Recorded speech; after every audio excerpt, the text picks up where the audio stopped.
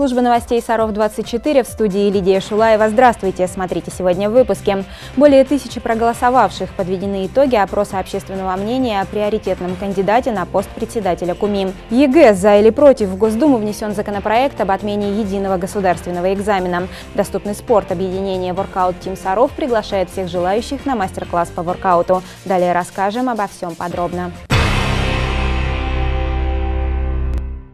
Очередные выборы состоялись в Сарове. На этот раз горожанам предлагали проголосовать за приоритетного кандидата на пост председателя Комитета по управлению муниципальным имуществом. Это, конечно, не сам конкурс на замещение вакантной должности, и лидер опроса совсем не обязательно займет кресло руководителя КУМИ. Тем не менее, в администрации обещают учесть результаты выборов при вынесении окончательного решения.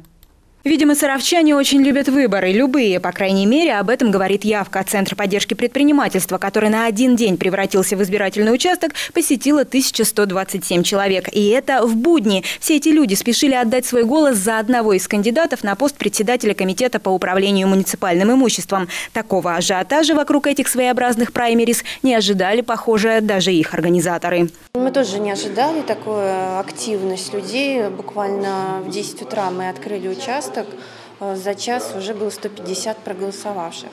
А, активно идут а, работники, предприниматели, активно идут пенсионеры, активно идут муниципальные сотрудники. Я могу сделать один вывод, что не все равно людям, с кем им дальше работать. Пик голосования выпал на обеденное время. Люди приезжали в ЦПП организованными группами, и в один момент только что пустующее помещение заполнялось народом. И даже, как тут не вспомнить выборы президента, образовывались очереди за бюллетенями. Впрочем, как показал наш опрос, далеко не все имели четкое представление о том, кого же они выбирают. Многие просто отказывались отвечать на наши вопросы. Кто-то говорил о некой активной позиции и лишь единицы о том, почему для них важно, кто будет руководить КУМИ. Ну, потому что мы активные, нам не все равно, вот мы решили пойти. А вы знаете, кого выбираем?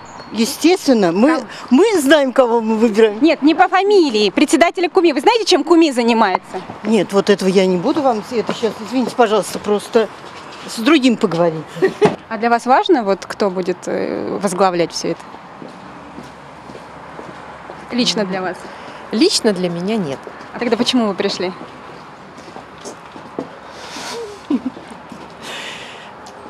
Почему пришла? Да.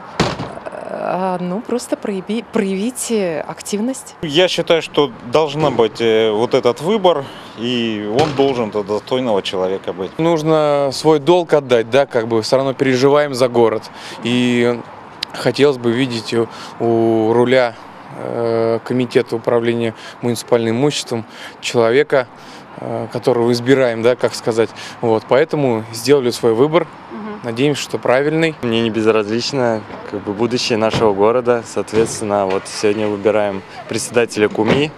И, на мой взгляд, это важно использовать территорию в правильных целях.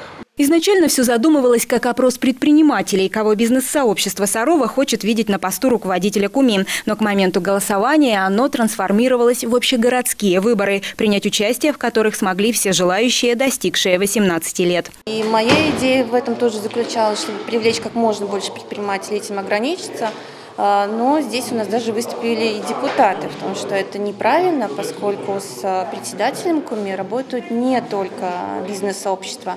И нужно дать проголосовать тогда в этом случае всем горожанам города Сарова. Я считаю, что муниципальное имущество принадлежит всем горожанам э, и распоряжается им от лица горожан городская дума, но повлиять на того, ну, на того кто, кто будет готовить все проекты решений и взаимодействовать с городской думой от лица администрации по муниципальному имуществу могут, может каждый гражданин города.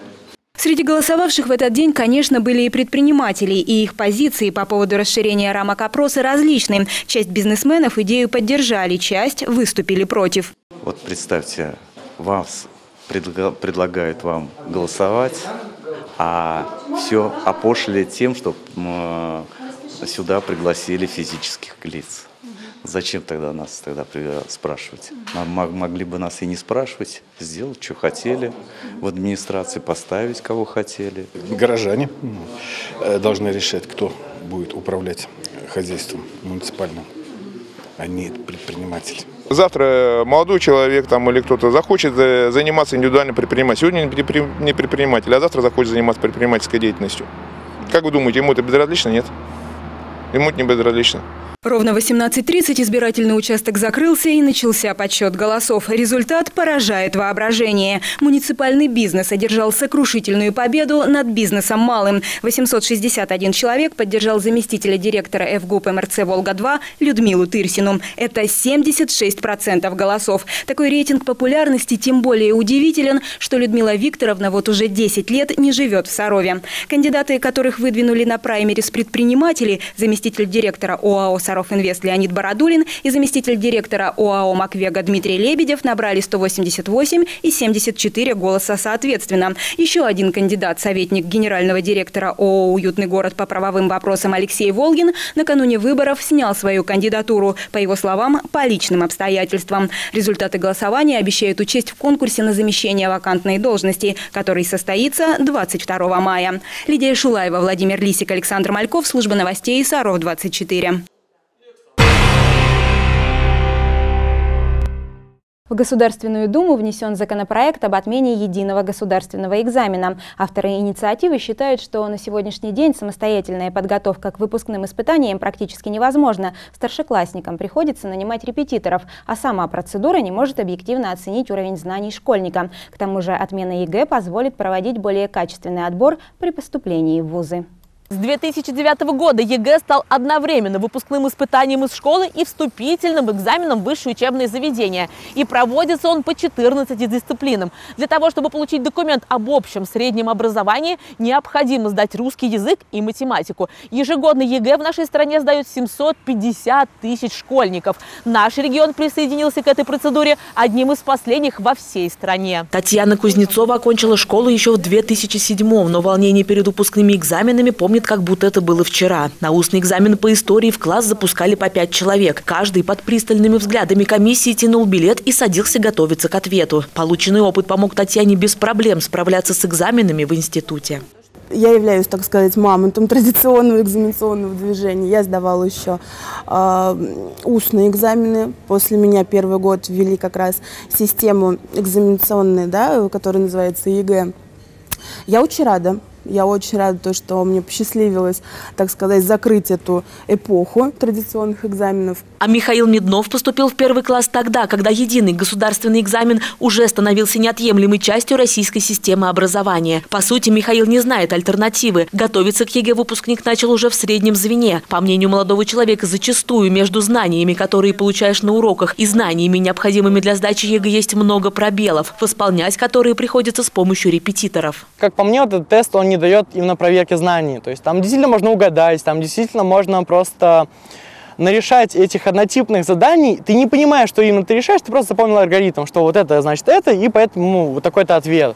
Сейчас вообще обучение идет именно на натаскивание сдачи ЕГЭ. То есть не на то, чтобы у тебя была большая э, куча знаний, а именно просто ты должен сдать ЕГЭ по этим предметам и по выбору еще предметам. Психологи считают, что выпускные испытания вне зависимости от формы их проведения неизбежно влекут за собой стрессовое состояние школьника. Волнение перед одним из самых ответственных событий в жизни – абсолютно нормальное состояние. Другой вопрос – как к нему подготовиться. В стрессовой ситуации мы все волнуемся, и каждый э, ребенок, каждый человек понимает, как он как наш организм дает знать о том, что начинается волнение или тревога. Да? У кого-то потеют руки, у кого-то руки трясутся. А кто-то понимает как раз, что я ничего не помню, я ничего не знаю, я ничего не соображаю, даже куда смотреть, куда идти. Для того, чтобы справиться с таким состоянием, существуют конкретные способы. Перед экзаменом хорошо работает самоубеждение. Оно мобилизирует ресурсы и позволит взять разуму верх над эмоциями. Кому-то помогает переключение внимания или минутка аутотренинга. В ситуации подготовки к экзамену важно участие педагогов, психологов, психологов и родителей. Умение родителям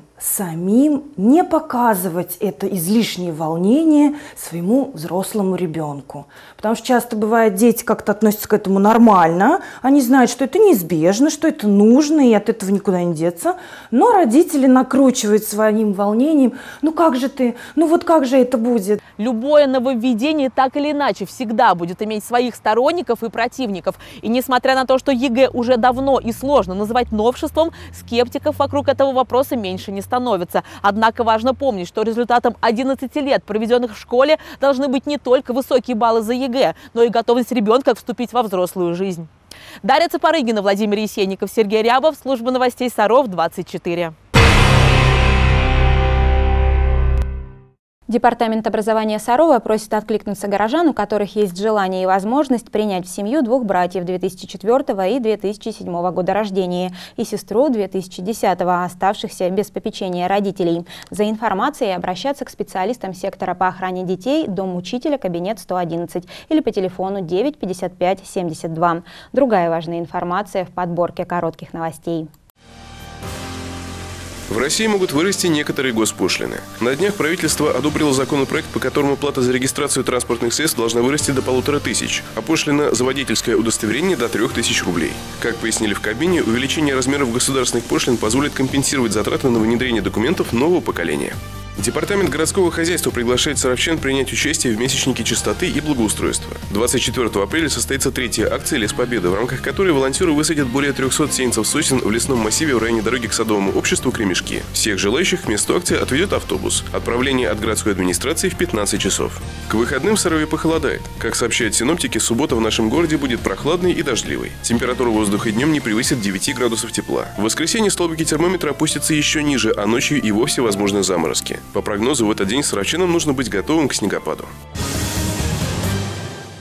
Воркаут – это не только полезно, но и модно. Вы наверняка много об этом слышали. Теперь можете научиться. Мастер-класс по воркауту пройдет в эти выходные на спортивной площадке в районе поймы реки Сатис. Занятия могут посетить юноши и девушки от 14 лет.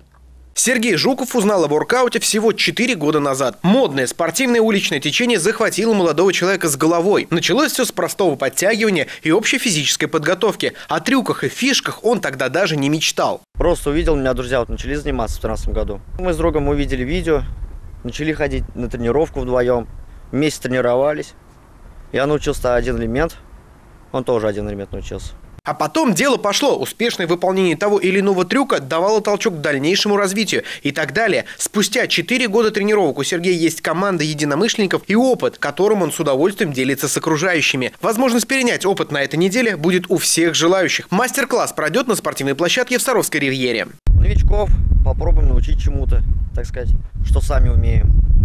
А так будем рассказывать, как заниматься, с чего лучше начать, какие упражнения. Мастер-класс по уличному виду спорта воркаут состоится в субботу 21 апреля в 16 часов на современной спортивной площадке в Саровской ривьере. Прийти может любой желающий. И даже если спорт вас не привлекает, вы можете просто прогуляться вдоль набережной, где уже начинает зеленеть трава, и отдохнуть от городской суеты и ритма на современных удобных лавочках, которые благодаря космическому дизайну практически парят в воздухе. Кирилл Вазенин, Владимир Лисик, Сергей Рябов. Служба новостей Саров 24.